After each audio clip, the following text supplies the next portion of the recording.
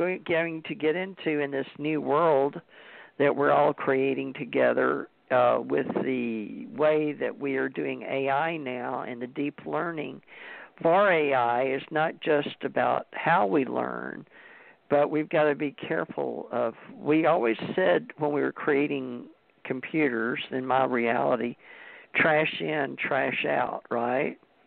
Right. So whatever you put in and you take out. So we were talking with Janet Lesson and Laurie O'Hara. Was it Lisa? Lisa, wasn't Lisa. it? Lisa O'Hara. Lisa O'Hara, and I thought that was a good show, but uh, we uh, I'll go back and grab that show uh, and put it on here for uh, last last night, folks, for you to find it. But it was quite interesting, uh, even though we had a little difficulty in the middle for a while with me and Skype. But um, people use unique ways of speaking their reality and how they are looking for the parts maybe of themselves and each of us are unique in a body but it's not just what is unique about us and it's also what is the same. And there's still that that which is different. There's something unique about us. And i've learned uh spiritually on sundays i like to do spiritual shows and we do with body mind and spirit. Those are the three that you know we've always brought up with whole health and in these old occult metaphysical bookstores is how do we deal with our minds, our consciousness, and our soul, and are they different like free will? Do we have destiny, fate, karma, and all these? This could we could go on for hours on each word and make a show, which we may do that, or have a panel for people that want to discuss with Suzanne and I uh, different topics. They may be specialists or PhDs in certain psychology or philosophy. I don't know, Suzanne, but Suzanne and I will do our best to help you guys. We're both doing readings and we're mm-hmm. creating a new domain just for our friends and see what we can create for the future with our experiences and our soul expansions.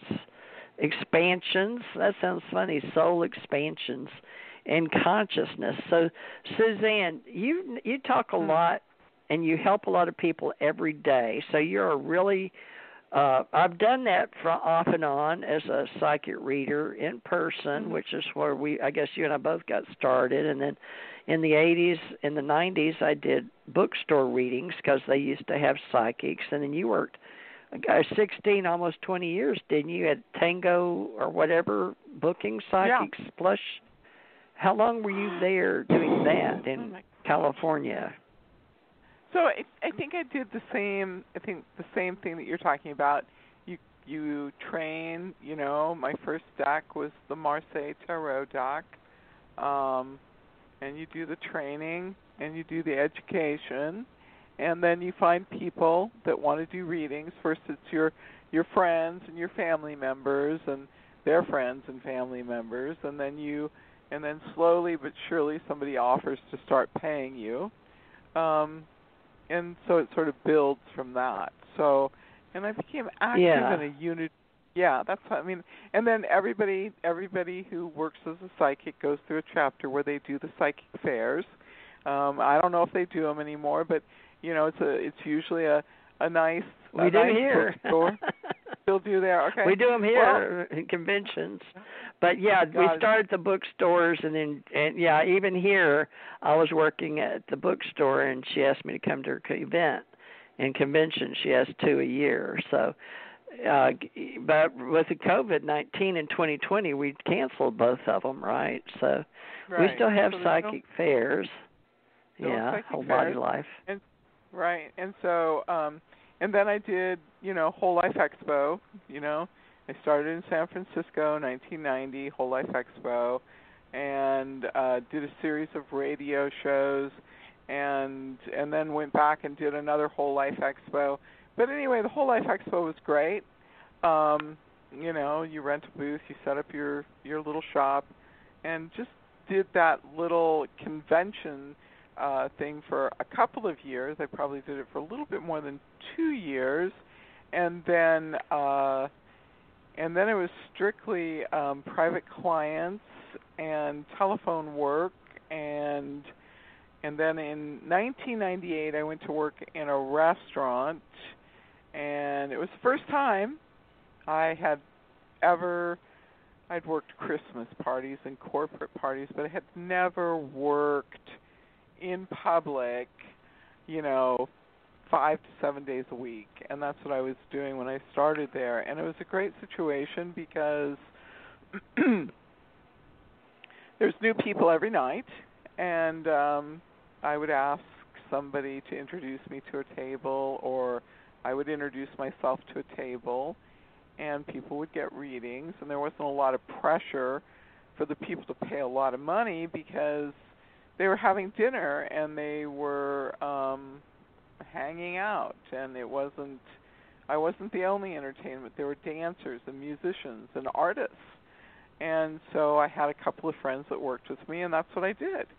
And I that situation started in December of uh December 10th of 1998 and it ended on uh February 28th 2019 That's a long So- time to be a psychic.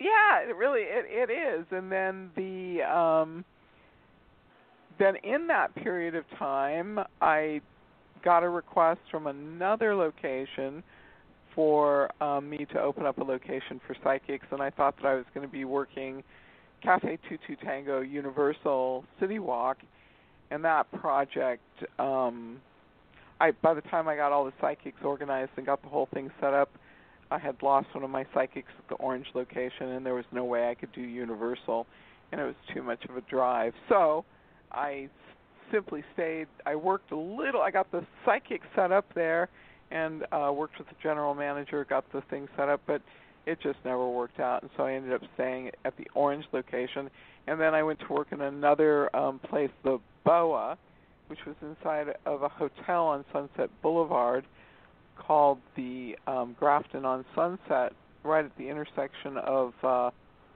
La Cienega and Sunset, and I worked there for five and a half years. And on Wednesday night, they um, had a little room, and that was the room that I sat in, and I did readings. It was really, it was really quite nice. It was really a beautiful, little tiny boutique hotel and it was a great owner and um it was it was really a great situation. So so i spent the period of 98 to 2019 basically working in public you know working events working parties uh working restaurants and i think it's i think it's such an important part for anybody who's who wants to be a psychic to learn how to work in public, I think it's such an important piece of training. I really recommend it. First of all, um, you're going to encounter a lot of people, and it's just a by the numbers. You're going to encounter. You're just going to encounter a really great cross section of people.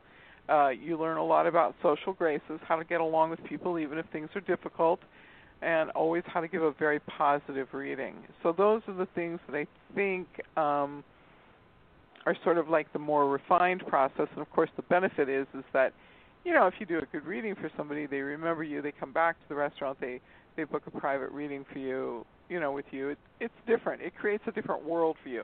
Gives you a really large cross section of people to work from.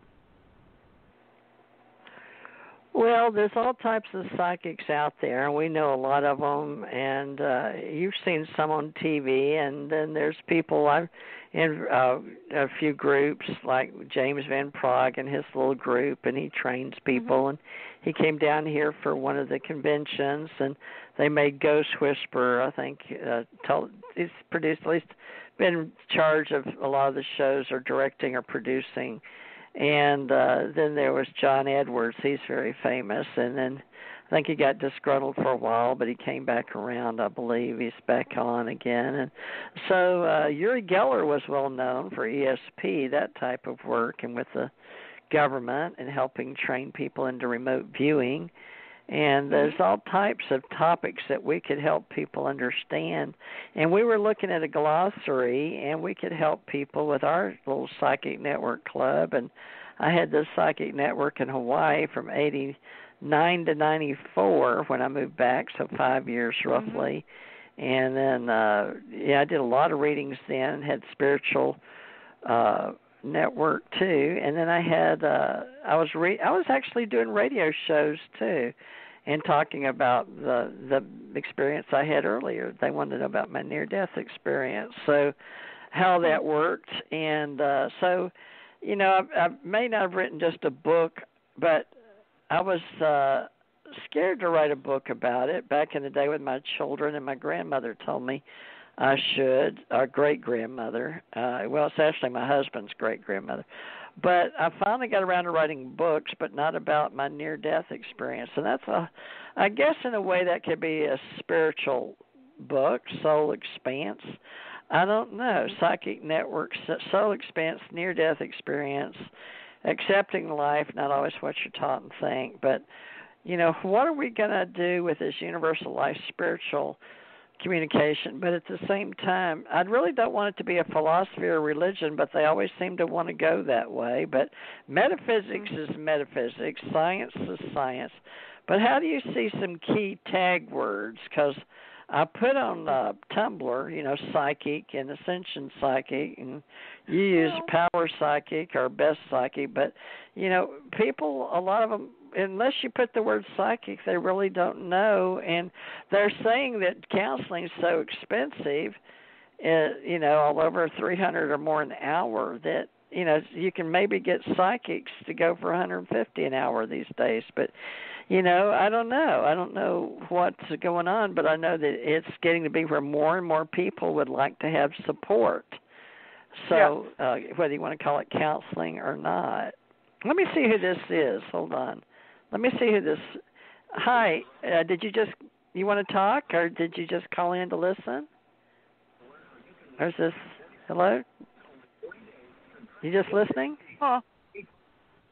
What's the phone number there? Okay, it's just somebody listening, I guess. I could hear the So- TV in the background. Uh, so one of the um, So- ARE, which is Edgar Cayce's Mhm. institute in Virginia Beach, they they teach lucid dreaming, and they found that people that had had a near-death experience were seven times more likely to do lucid dreaming than people that hadn't. And that was their finding. It's not my finding. It's not my um, article. Nothing.